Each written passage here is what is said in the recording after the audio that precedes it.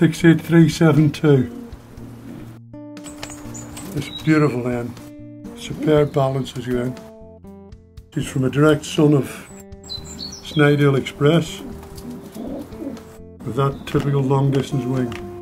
But better, the mother is a daughter of the Ronaldinho of de Graaf van Geert, who won the first national from Limoges.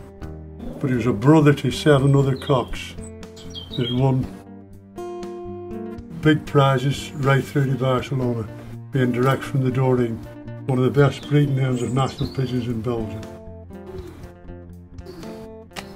A beautiful hen.